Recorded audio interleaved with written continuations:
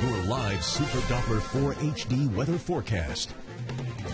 Another warm day on the way today, and with that afternoon heating, we'll see a few pop up showers and thunderstorms. Had quite a bit of rain in the mountains of North Carolina last night. All that has worked its way into the eastern part of North Carolina as we speak.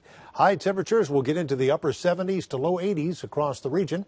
Winds out of the north at 5 to 8, with a 30% chance of scattered showers today. Low 80s again tomorrow, only an isolated shower possibility left, and then dry weather Friday through the weekend. Looking nice for your outdoor plans.